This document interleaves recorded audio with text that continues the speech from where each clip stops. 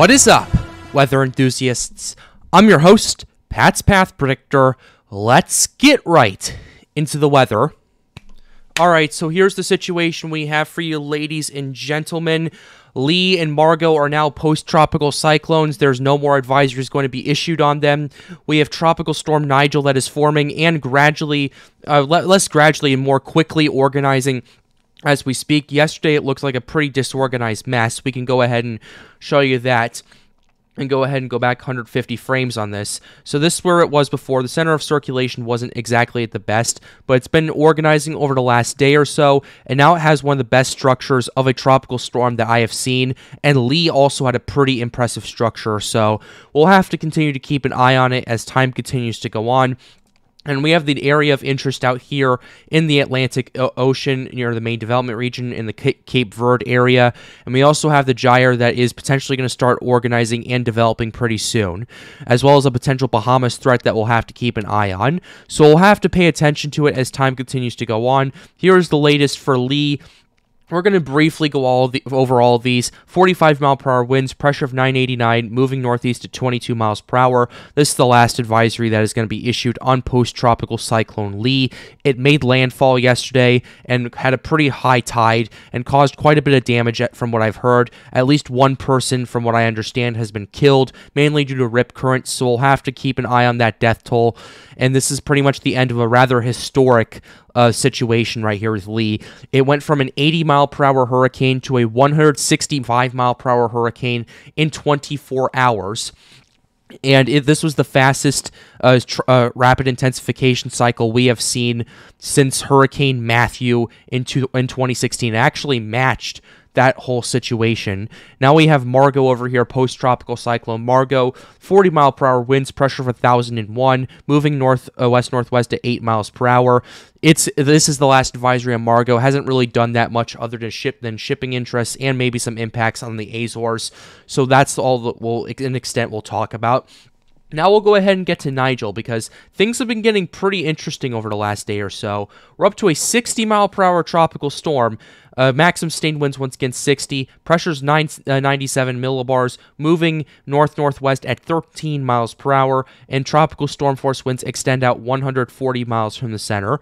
Here's the discussion for uh, for uh, for Nigel right here. It is forecast to become a major hurricane in the next 60 hours, briefly before starting to gradually weaken and dec- uh, decline in strength as it continues to move into cooler and cooler waters. But here's what the discussion also says Nigel is an environment that should support strengthening. In fact, the, the, the SHIPS RI and D uh, tops rapid intensification models indicate that there's a near 50 50 chance of it strengthening 25 knots in the next 24 hours, or 55 knots in the next 48 hours. The recent SIMS imagery uh, uh, at 9/11 UTC indicates that the inner, inner core is probably not yet well built or, or to support immediate rapid intensification, but it could happen at some point later today.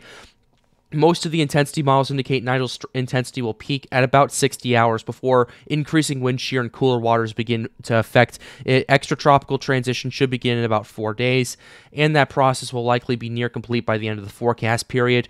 O- only small adjustments have been made, so no really any major changes in the track as well. So it's mainly it's mainly going to be keeping out to sea. Thankfully, uh, east of Bermuda, and then drifting out, potentially being an impact to, uh, uh, to the United Kingdom as an extratropical cyclone. So that's what we have going on with Tropical Storm Nigel that is quickly organizing and quickly intensifying. We'll go ahead and show you the archive to what was going on. We were at 40 miles per hour late last night at 11 p.m. Atlantic Standard Time. Tropical storm force winds extended out 90 miles from the center, and the pressure was 1,005 millibars. At 5 a.m., we went up to 50 miles per, uh, per hour, pressure of 1,001 millibars. Tropical storm force winds extended out considerably up to 140 miles from the center, and now we're up to 60 miles per hour, and this thing continues to strengthen as we speak. And based off of satellite, it's only continuing to organize more and more. Could potentially be ra- another storm that rapidly intensifies, similar to that of Lee. We'll have to keep an eye on it as time continues to progress for shipping interests that are out there. Now we'll have to pay attention to our main event that is coming pretty soon. We have a 40% chance of formation in the next seven days in the eastern Atlantic. Here's what they have A tropical wave is forecast to move off the west coast of Africa by Wednesday. Gradual development of this wave could be possible thereafter, and a tropical depression could form late this week or next weekend while the system moves westward across the eastern tropical Atlantic. 40% chance of formation in the next seven days. This thing is, is still over the coast of Africa, and they tagged this as an area of interest on Friday, I believe. So this was tagged out six days in advance. So, to kind of get you where I'm thinking about this, they are quite confident that something is going to develop because they normally do not tag areas of interest until like maybe one to two days before they come off the coast of Africa. They tag this almost a week in advance, just to give you some perspective. So, that's what's really concerning me. And also, I've also been talking to my tropical team on Storms United, and they've and they've been talking to me, and they've been saying that the faster that Nigel organizes, the faster Nigel intensifies, the faster it'll get pushed up further to the north, and the faster it gets out of there, the faster the Bermuda High could easily rebuild and continue to shift this thing further and further to the west, potentially putting the Lesser Antilles and maybe even further in play for some potential impacts. We'll have to keep an eye on it as time continues to progress. We'll just keep you updated here on the Pat's Path Predictor channel. We'll show you some model runs to kind of give you a better understanding of what's going on. Here's the European model. Having Lee start to intensify at a pretty decent pace, gets down to a mid-range Category 1 hurricane according to the European, before starting to weaken and move out to sea, becoming an extratropical cyclone. This area of interest starts organizing and developing gets down to a, a, tropical storm pretty quickly, actually, before strengthening up into a hurricane. Strengthens into a pretty powerful hurricane for that category 3 hurricane pressure of 953 millibars there's a high pressure system building up right here the european is potentially having this uh, drift out to sea however keep in mind by the time that happens we're about like what six to seven days out, so we'll have to keep that in mind as time continues to go on. Next model we're going to go ahead and show you is the GFS right here. Here's the GFS pulled up right here. Has Lee intensifying to a Category 2 or Category 3 storm, and then this thing starts to organize and develop and actually moves due west. And the weaker the storm is, in my opinion, as it starts out, the more this high pressure system is going to act, uh, uh, not really act upon it, but the more further west it's going to go. And that's what the GFS is kind of doing. It has it developing maybe into a tropical depression, tropical storm down the road, but we'll have to keep an eye on it. And then it also has this dark horse Bahama system potentially starting to organize and develop in the next five days or so. So we'll have to keep an eye out for an area of interest in the next two to three days. And then this thing makes landfall in South Carolina as a tropical storm, according to what the GFS is saying. We'll have to keep an eye out on that as time continues to progress. I'm not exactly ruling that out, but this is also like five to six days out on the GFS. So again, it could happen. The conditions are definitely there for some sort of development over there but they're not exactly ideal for really sustained organization at this time. So that's what we have going on with the GFS. And we also have the Gyre that's maybe or maybe not going to be developing in the uh, in the Gulf, not in the Gulf, but in the Caribbean Sea. We'll have to keep an eye on it as time continues to go on. Next one we're showing you is the CMC. CMC has Nigel going up to a, a Category One hurricane. However, considering how fast it's intensifying, I think it could definitely get a lot stronger than that. Then it has this area of interest moving off the coast of Africa. CMC, I'm not sure what they're doing with this, but the CMC is having this push towards Europe. So I'm gonna be completely honest. I'm not entirely. I don't entirely trust the CMC's track on this, primarily because the the setup's just not there for it to push to the uh, to the uh, towards Europe like um what was it Lorenzo that did it. So that's the CMC. Next one we're gonna go ahead and show you is the NavGem. Navgem, similar situation. Intensifying Nigel moves east to Bermuda. Then this thing comes off. And interestingly enough, it, the Navgem's doing similar to what the CMC is doing. I'll be honest with you, I don't see that scenario happening. Just the steering currents aren't exactly built for that.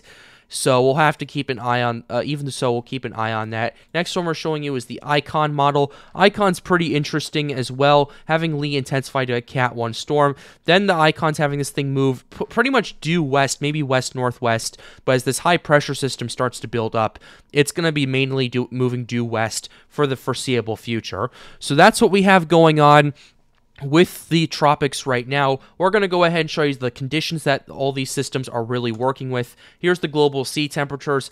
Where Nigel is right now, it's in an area of 28 plus degrees Celsius water or 82 plus degree Fahrenheit water for those of you who live in the United States and do not use the metric system.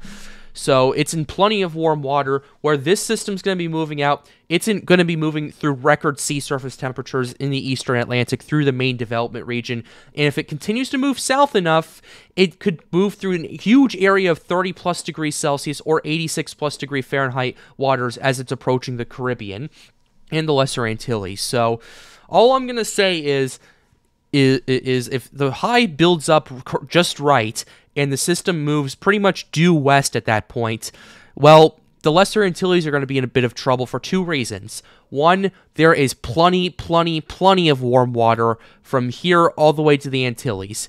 Two, there is not very much wind shear in the western Atlantic Ocean as of right now. We'll keep you updated on that as time continues to go on. And in the Caribbean, there is a bit of shear starting to build up once again. However, that's mainly going to be more of a temporary phase from what I've seen with some models. So we'll keep an eye out for that. But also, another reason is the ocean heat content.